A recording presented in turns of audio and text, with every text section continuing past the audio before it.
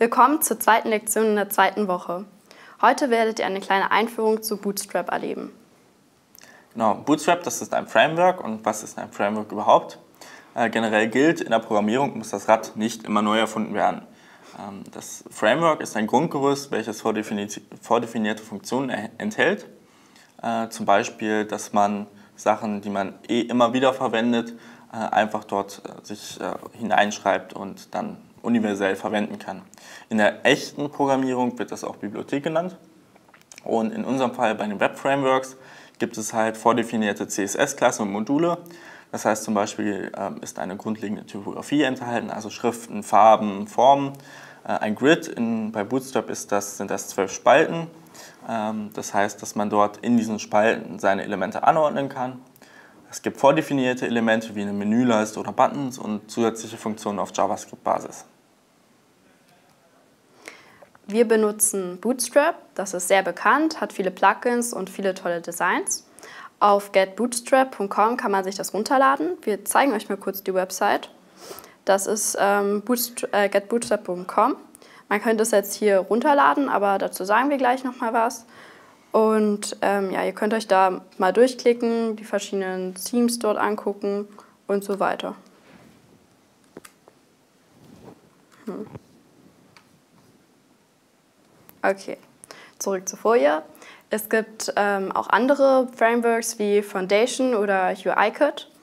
Und ähm, die kann man nutzen, aber sie sind halt nicht so bekannt wie Bootstrap und sie haben halt deshalb auch wenige Designs.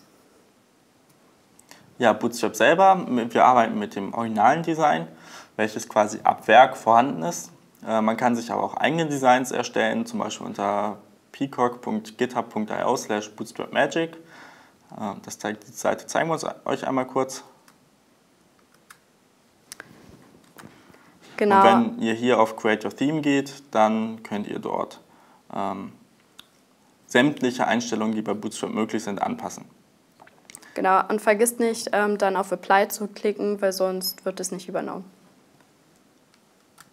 Genau, es gibt auch die Möglichkeit, fertige Designs zu nutzen. Diese enthalten teilweise zusätzliche Elemente. Bei bootswatch.com bekommt ihr einfach nur CSS-Dateien, die euer originales bootstrap.css überschreiben. Damit bestimmte Themes, zeigen wir euch gleich, ähm, enthalten. Und unter startbootstrap.com bekommt ihr zusätzliche ähm, Module noch mitgeliefert für bestimmte Anwendungszwecke. Also das ist jetzt Boots, ähm, Bootswatch. Dort, wenn du einmal runterscrollst, seht ihr halt verschiedene Designs, äh, die ihr euch einfach so runterladen könnt und damit euer originales Design überschreiben könnt. Und auf Start Bootstrap äh, bekommt ihr verschiedene Themes, die halt einen bestimmten Zweck haben, zum Beispiel einem Admin-Theme oder einem Blog-Theme oder was es da alles gibt. Und die könnt ihr halt auch kostenlos herunterladen und einfach nutzen und die enthalten auch immer eine Dokumentation, was da noch für zusätzliche Features verfügbar sind. Genau, zur Installation. Also wir haben euch ähm, ein kleines Paket ähm, ähm, zusammengepackt. Das könnt ihr halt von OpenHP runterladen. Und wenn ihr das entpackt, dann werdet ihr dort die CSS-Dokumente finden, die verschiedenen Schriftarten, ein Beispielbild, JavaScript und halt die Index.html.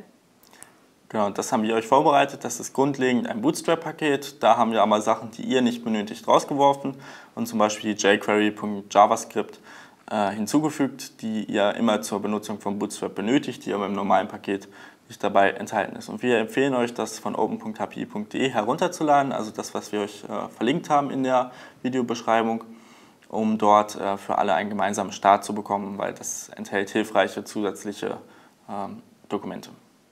Genau, das war's zur zweiten Lektion. Wir sehen uns dann in der nächsten wieder.